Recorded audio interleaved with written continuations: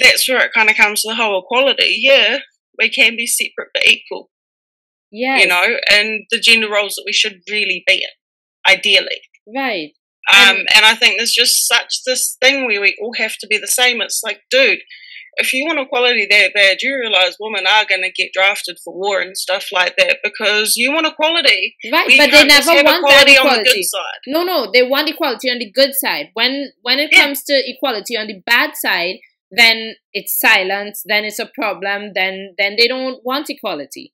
And that's what No. I think men complain about because I mean, uh, uh, if we look at the the whole reproductive rights situation with abortion, yeah, abortion is important for for women to have as a right and so on and so on, right? It's a woman's right, okay.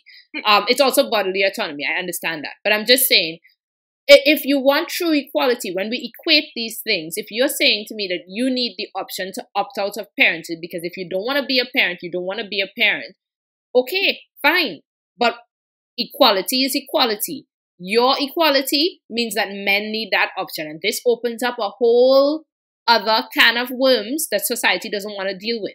So Financial abortions is what Exactly. needs to happen. it exactly financial abortions will be a thing if you really want equality. That is equality. Why are they not out there marching for abortions and also marching for men to opt out? Because that is equality. Equality is you march for the men to opt out, you march for the women to opt out. You are pro choice, you need to be pro choice for them. But when Hmm. they want equality on one side, whenever things are beneficial for them, you know, but when it comes to other forms of equality, there's silence. Oh, it's all about bodily autonomy. Yeah, you would like it to all be about bodily autonomy, but the reality is it's about you not having a child. Okay, if I want to have Yeah. an abortion, the reason I want to have an abortion is because I don't want to have a child. Th- th- A That's hundred percent. Yeah, And so um, many men get called deadbeat dads and horrible people. It's like, did he actually want that kid to begin with, though?